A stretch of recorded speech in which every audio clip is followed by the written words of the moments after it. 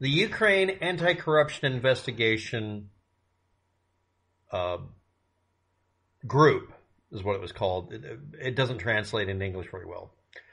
Was investigating Burisma for dealings from the year 2010 to 2012 while a specific person was running the corporation, not Hunter Biden. Hunter was on the Burisma board or associated at all from the year 2014 to 2019.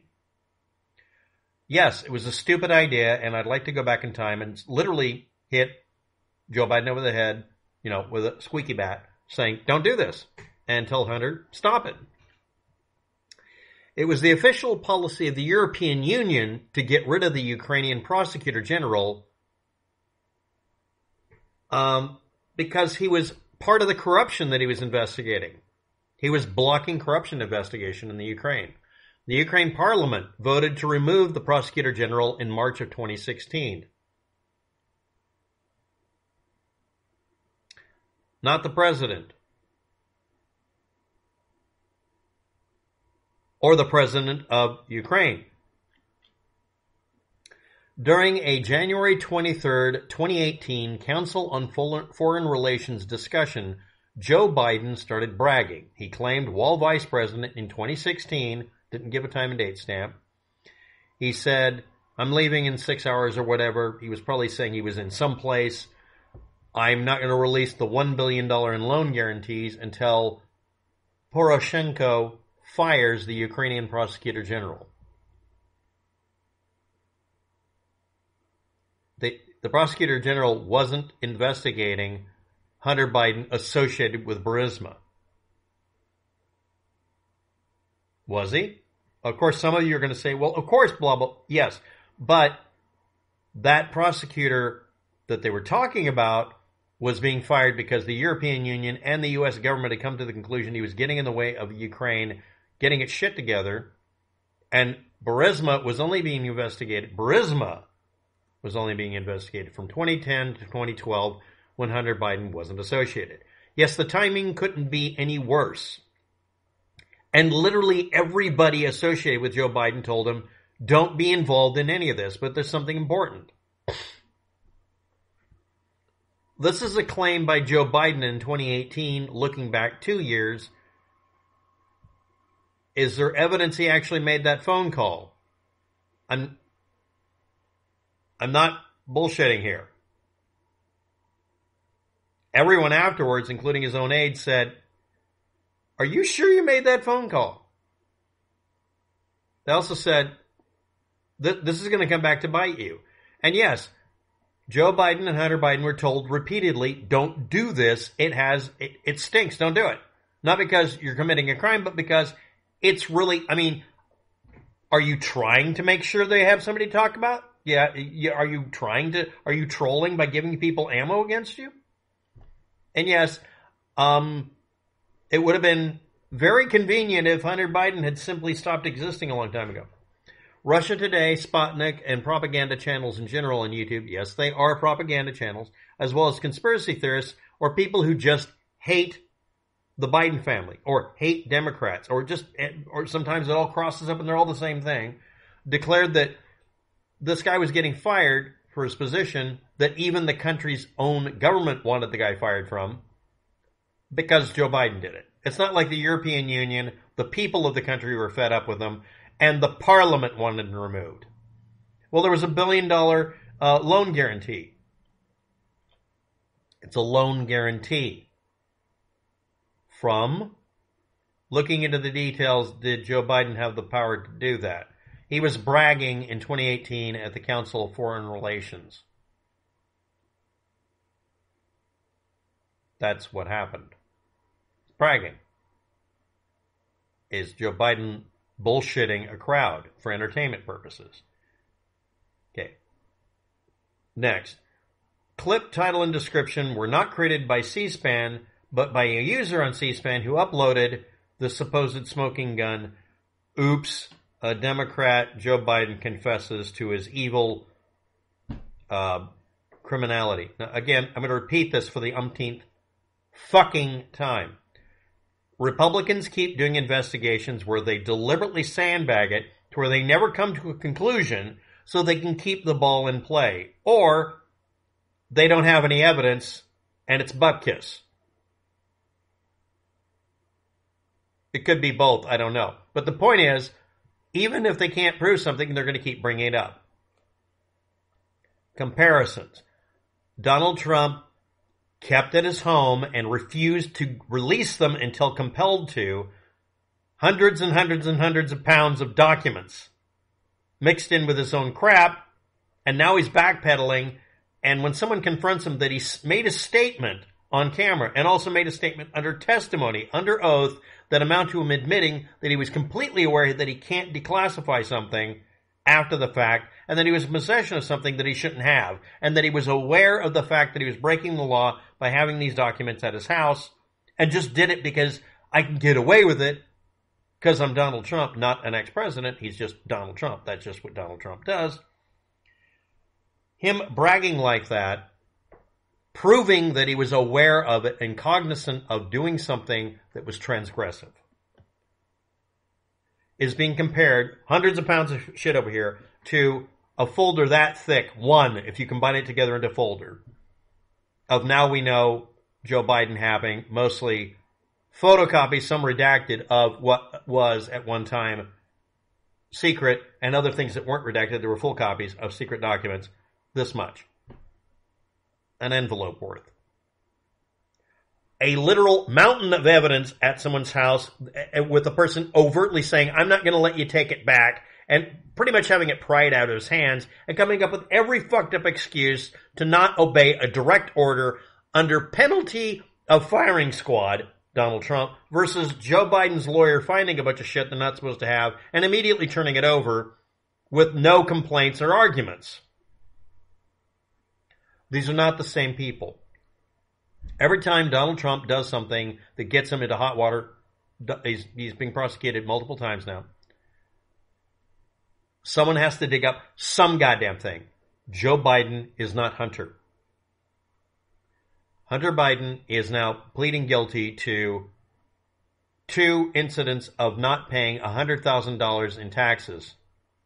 That's tax money he owed. He has to pay a fine for it. He's actually paid it back.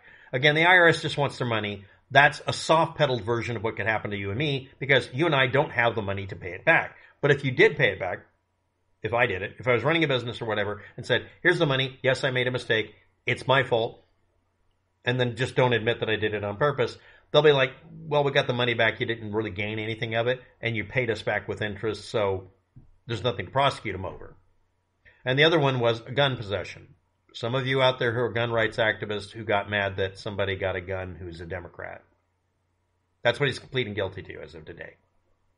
Did he get a real sweet deal? Yeah, sure. He's a VIP who shouldn't be given any sweet deals. He should have been thrown in jail. I'm sorry, just punish the dog crap out of him. That's not Joe Biden. That's his son. his son is a train wreck. Yes. If his son stopped existing eight years ago or whatever, which could have happened because he might have, I mean, he's been in medical trouble before. would he be a problem now? Yes, someone would literally dig up his body to bring this up because some people have no shame.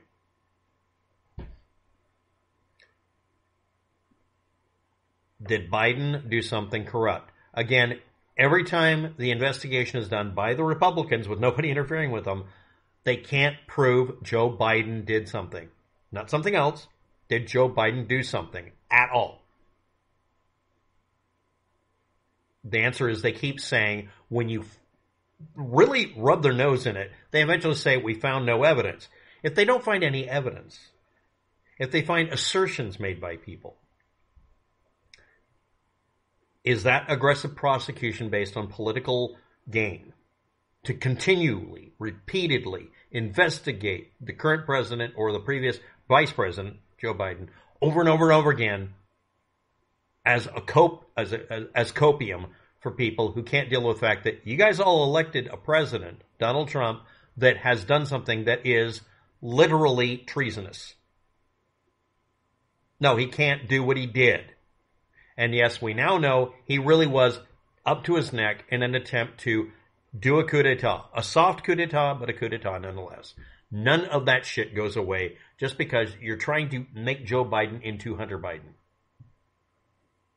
Waptek, you're coping with this. No, I'm, I'm taking each piece and, and ask this. The Ukraine anti-corruption investigation of Burisma was for things that the company was guilty of from 2010 to 2012. After a certain point, they don't have any evidence of them doing any wrongdoing. Hunter Biden coming on in April of 2014 and being there to 2019 is not something that has anything to do with him doing something corrupt. And again, every time evidence is brought up, we look into it, we find out it's an assertion. It's a claim. It's somebody saying, I've got a recording of a telephone call and then never producing it over and over and over again. Meanwhile, Trump overtly stating publicly and under oath a bunch of shit that make him guilty. He can, if he shut his mouth, he would be okay. And again, all he had to do was say, yeah, I've got documents here I'm not supposed to have. I need someone to sort through them. If you don't want to trust me, you do it. And they just let him do it. This would have been over and done with in a day because they would have come out and just upended all the boxes and looked for anything marked top secret, anything that even looked right. There's a mountain of evidence now that fake electors were put in place to try to keep Trump in power. And no, just because you can say, well, it wasn't Trump, it was his lawyer, it was Trump doing that. Literally falsifying state issued documents to claim the vote went a certain way. That's called rigging an election. Versus accusing Joe Biden of it because reasons.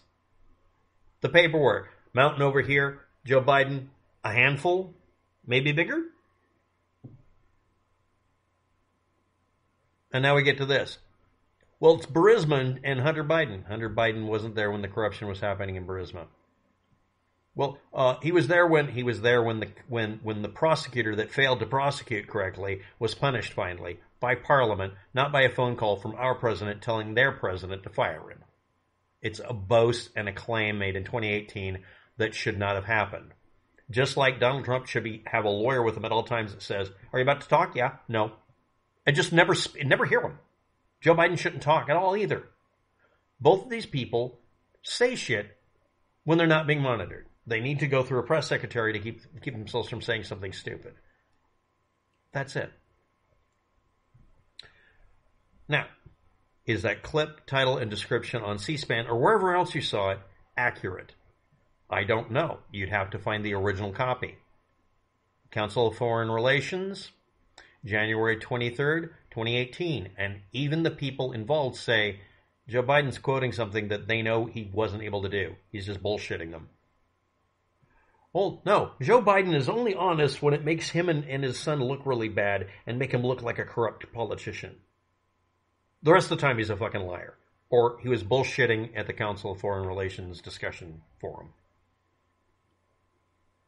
I'm sorry, but this is a very reasonable question. Do you really have a world view that he's a brilliant mastermind, blah, blah, blah, one minute, and a complete fucking doofus another? That he can oops like that in front of a group of people, and that totally be the truth, but he's always lying every other time when it's inconvenient for your belief system. Meanwhile, I actually take Donald Trump at his word when he says all this shit where he's claiming that he's innocent about stuff, but then he keeps saying stuff that proves that he's just lying. He lies over here when it's a self-aggrandizing and I'm the most awesome thing on the planet. And then when he says, well, this is what happened, a lot of the times he actually is appearing to tell the truth and it's incriminating as fuck. And he is not immune from self-incrimination when he proffers it during an interview on Fox. The corruption investigation of Burisma that you could try to connect to Hunter Biden is 2010 to 2012. Tell me how that doesn't work. Was he guilty of corruption? They don't think so. Their own words on it.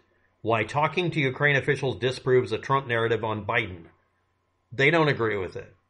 And some of these people have all the reasons in the world to screw over Hunter or Joe if they wanted to. If you want to show me evidence, it can't be somebody bullshitting. I'm trying not to be bullshit here. Thanks for watching. Have a good day. Good luck.